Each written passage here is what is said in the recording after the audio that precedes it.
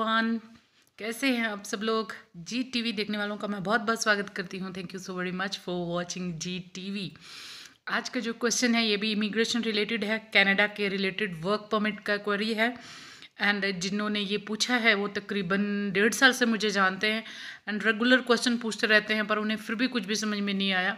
बार बार बार बार एजेंटों के चक्कर में जाते हैं, क्योंकि उनको समझ में नहीं आया कुछ भी। और जब तक समझ में नहीं आएगा, आप लोग कुछ नहीं कर सकते। ये वीडियो मैं हिंदी में बना रही हूँ, क्योंकि अब मुझे ये चीज़ का पता है, कर्नाटका में, केरला में, हैदराबाद में एंड अदर स्टेट्स में जो लोग हैं, वो मेरी वीडियोस देखते हैं। तो मेरा जो मकसद है कि मुझे अवेयर करना है तो मैं ये वीडियो हिंदी में बना रही हूँ, पंजाबी की बजाय, क्योंकि पंजाबी लोगों को हिंदी समझ आ जाता है।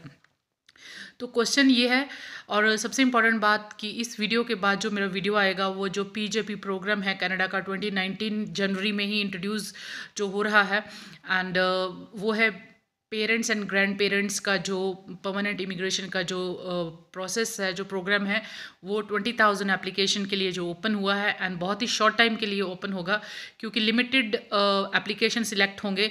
तो नेक्स्ट वीडियो मेरा जो है, उस पर होगा। आप ज़रूर देखते रहें।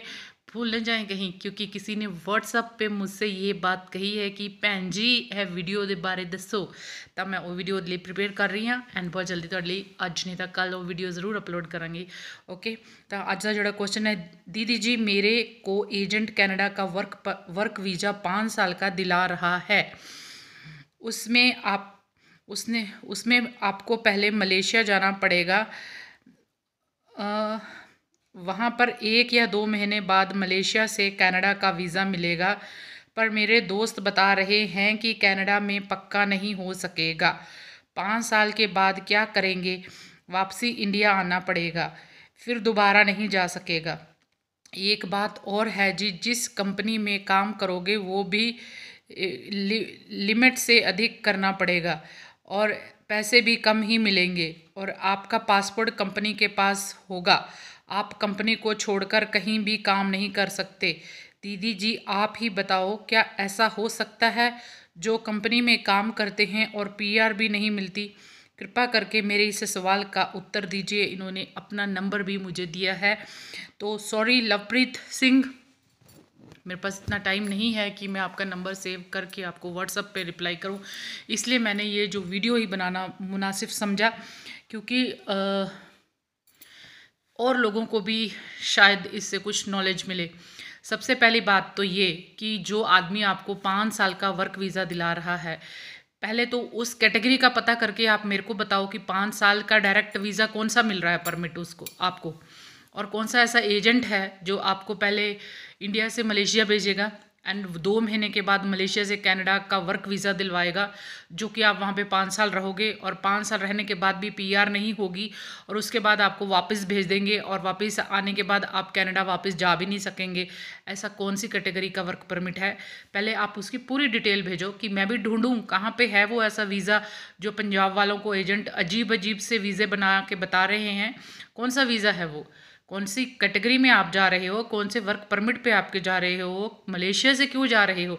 क्या आपके दिमाग में ये बात नहीं आती कि लिमिट से ज़्यादा काम करना पड़ेगा? वो कनाडा है भैया, वहाँ पे time is value time is money हर घंटे के पैसे मिलते हैं आपको काम करने के।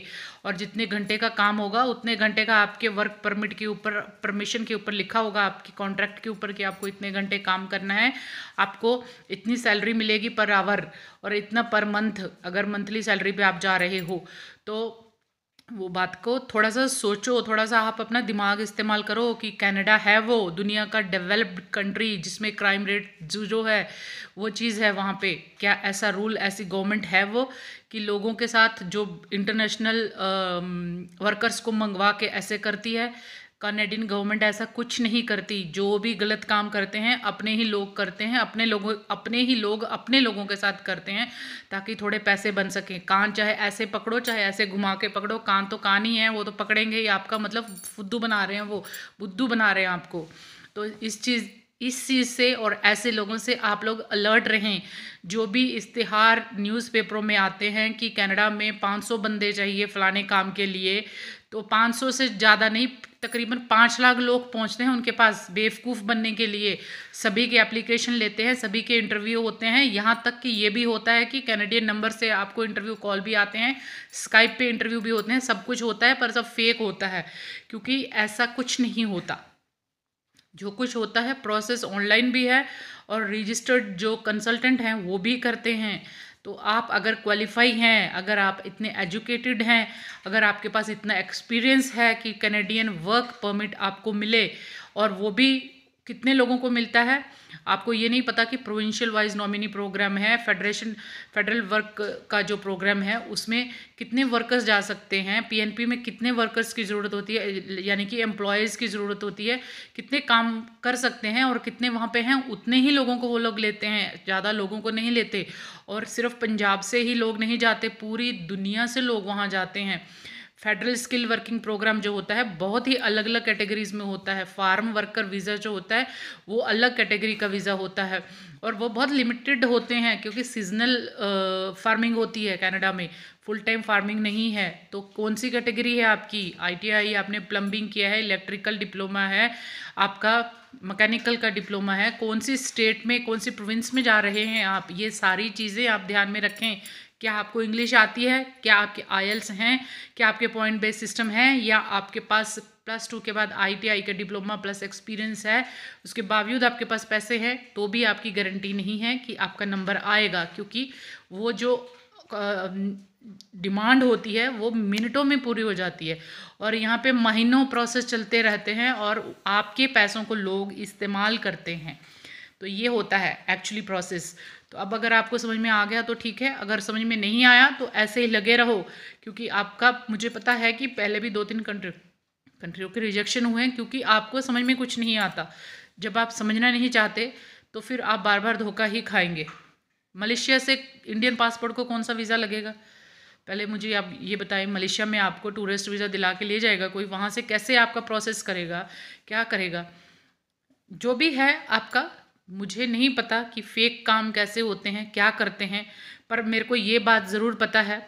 मलेशिया में कंटेनर्स होते हैं, जो पुराने कंटेनर्स उनके अंदर अपने लड़के, अपने बच्चे तड़फते बिलकते भूखे, प्यासे और खुजली पड़ी हुई देखी है मैंने वहाँ पे।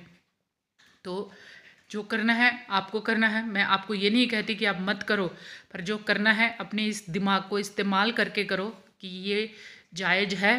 क्या ऐसा हो सकता है? या तो आपके पास पैसे बहुत ज़्यादा हैं, या फिर आप इतने तंग हो चुके हैं कि आप कुछ भी करके घर से बाहर जाना चाहते हैं। ये दोनों ही कंडीशंस में लोग आपको बेवकूफ़ बना रहे हैं। थोड़ा सा जागृत करिए अपने आप को। 2019 आ चुका है इमिग्रेशन प्रोसेस स्टार्ट हो चुके हैं नए, और 2020 में मून के ऊपर जो है दुनिया रहने जाना शुरू करेगी। 2020 में आप तो कनाडा की बात कर रहे हैं, लोग मून पे जाने की तैयारी कर रहे हैं। थोड़ा सा एडवांस करो अपने आप को, अपनी सोच को थोड़ा सा बढ़ाओ कि क्या कर रहे हैं हम लोग। फिर हम कितने कितने क्रिमिनल रिकॉर्ड्स पैदा करके हम कितने बार केसेस करेंगे एजेंट्स के खिलाफ, जब हमको खुद ही नहीं पता। कितने वीडियोस मैंने बनाए हैं, तकरीबन साढ़े चार सौ से पाँच सौ वीडियोज़ में से तीन सौ वीडियो इमिग्रेशन पे हैं। वो भी एकदम सीधी सरल भाषा में कि इमिग्रेशन क्या है, वीज़ा क्या है, वर्क परमिट क्या है, सब कुछ।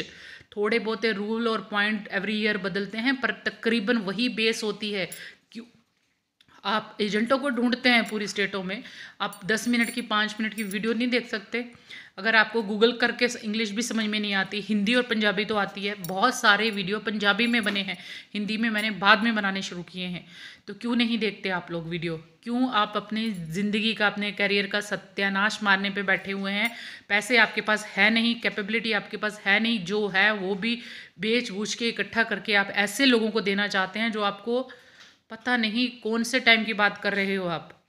1960 की बात कर रहे हो या 90 1950 की बात कर रहे हो? ये 2019 चल रहा है।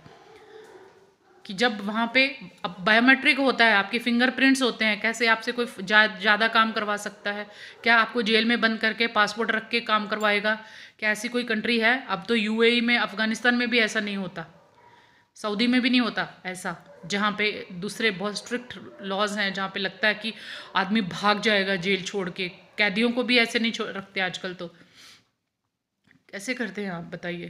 कैसे सोचते हैं? I don't know but I am really upset about this कि अभी भी आपको समझ में नहीं आया। I am really worried about that thank you for watching